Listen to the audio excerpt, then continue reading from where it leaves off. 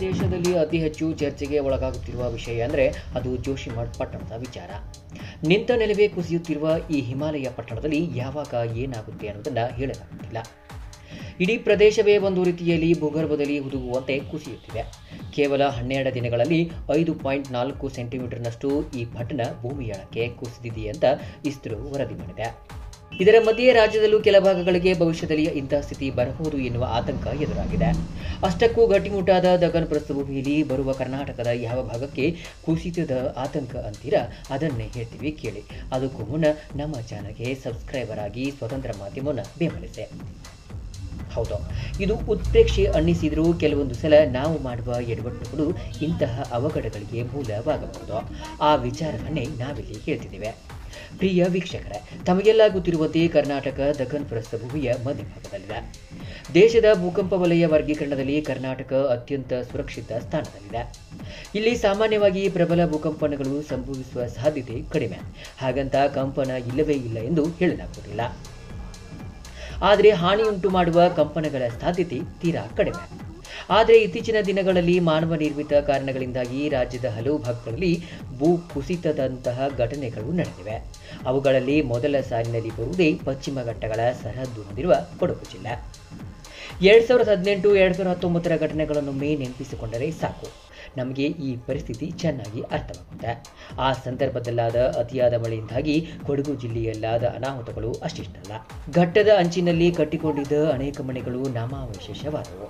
ತಲಕಾವೇರಿಯ ಅರ್ಚಕ ಕುಟುಂಬವೇ ಇಡೀ ಭೂ ಸಮಾಧಿಯಾಗಿದ್ದನ್ನು ಯಾರೂ ಮರೆಯಲಾರರು. ಪರಶುರಾಮ ಸೃಷ್ಟಿಯ ಭಾಗ ಎಂದು ಕರೆಸಿಕೊಳ್ಳುವ ರಾಜ್ಯದ ಸಹ್ಯಾದ್ರಿ ಭಾಗ ಅತ್ಯಂತ ಗಟ್ಟಿಮುಟ್ಟಾದ ಪ್ರದೇಶ.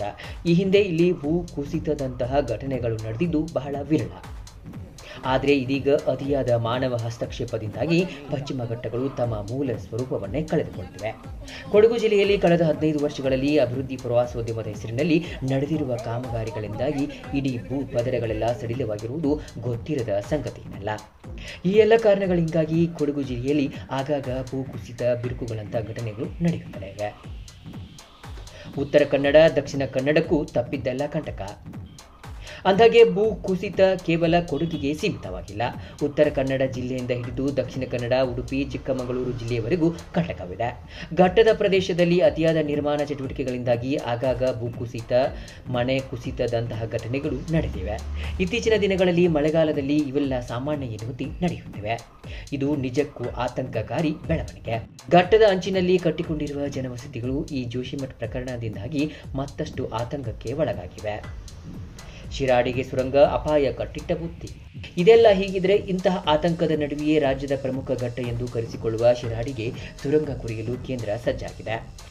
ವಿಸ್ತೃತ ಯೋಜನಾ ವರದಿ ತಯಾರಿಕೆಗೆ ಟೆಂಡರ್ ನೀಡಲಾಗಿದ್ದು, ಈ ಯೋಜನೆ ಜಾರಿಯಾದರೆ ಪಶ್ಚಿಮ ಘಟ್ಟ ಮತ್ತಷ್ಟು ಸಡಿಲವಾಗುವುದರಲ್ಲಿ ಯಾವುದೇ ಅನುಮಾನವಿಲ್ಲ.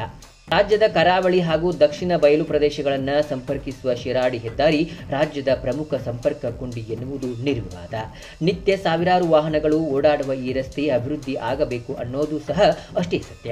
ಹಾಗಂತ ಸುರಂಗ ಮಾರ್ಗ ನಿರ್ಮಾಣವಾದರೆ ಈ ಶಿರಾಡಿ ಘಾಟಕ್ಕೆ ಭವಿಷ್ಯದಲ್ಲಿ ಖಂಡಿತ ಅಪಾಯವಿದೆ ಈಗಾಗಲೇ ಜಲವಿದ್ಯುತ್ ಯೋಜನೆಗಳು ಎತ್ತಿನ ಹೊಳೆ ತಿರುವು ಯೋಜನೆಗಳಿಂದಾಗಿ ಭಾರಿ ಪ್ರಮಾಣದಲ್ಲಿ ಪರಿಸರಕ್ಕೆ ಹಾನಿಯಾಗಿದೆ. ಈಗ ಮತ್ತೆ ಸುರಂಗ ನಿರ್ಮಾಣವಾದರೆ ಜೋಶಿ ಮಟ್ಟದಲ್ಲಾಗುತ್ತಿರುವ ಆ ಕಹಿ ಘಟನೆಗಳು ಇಲ್ಲಿಯೂ ಮರುಕಳಿಸಬಹುದಾಗಿದೆ.